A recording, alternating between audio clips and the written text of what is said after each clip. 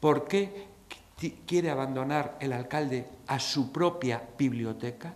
Es la Biblioteca Municipal de Vigo, creada por el Concello de Vigo en 1995. Hemos pasado hasta el 2013 por diferentes gobiernos y todos asumieron esta realidad y esta colaboración, esta gestión compartida entre Xunta de Galicia y Concello de Vigo. Estamos llegando a el surrealismo total, absurdo total, de cómo después de 17 años, ¿por qué ahora, ahora, de qué quiere? ¿Necesita 330.000 euros, que es la aportación, para algún otro proyecto?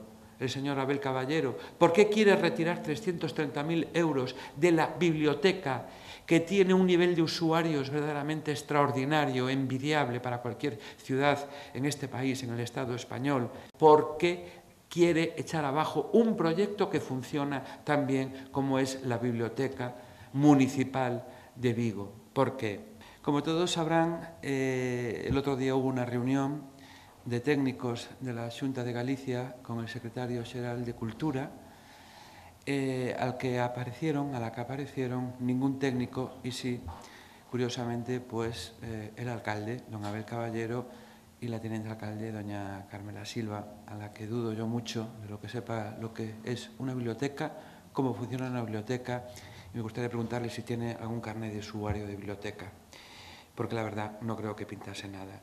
En cambio, el secretario general de Cultura sí que fue con técnicos de la Consellería de Cultura para explicar exactamente qué es una biblioteca, qué es la biblioteca municipal y que hay una colaboración de gestión desde el año 1995 de compartir responsabilidades. Y fíjense ustedes qué responsabilidad tan grande asume el Gobierno de Galicia en aquel momento, que llega, como digo, a los 800.000 euros la aportación.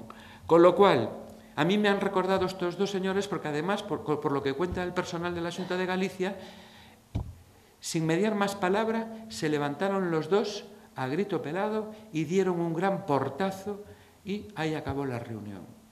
Eso es un atraco a las instituciones públicas democráticas y los políticos no estamos para broncas políticas, estamos para dialogar, para coordinar, para consensuar y estamos al servicio de la ciudadanía. Y aquí hay un servicio muy importante de la ciudadanía que es una biblioteca pública. Hemos visto cómo la Consejería de Educación sigue teniendo la mano para colaborar, sentarse y ver qué posibilidades hay de, compartir esa gestión y esas responsabilidades. Hablamos de mano tendida. La Junta de Galicia, la Consellería de Cultura, quiere salvar el proyecto y quiere seguir en los mismos términos de colaboración e incluso mejorarlos. Con lo cual, aquí lo único, insisto, es buscar bronca política, desprestigiar incluso a las propias instituciones.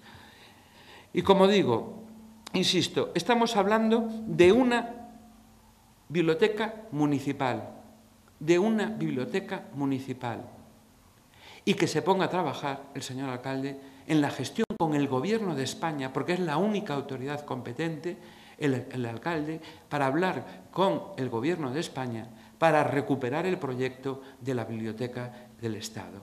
Eso es verdaderamente lo que nos importa a todos.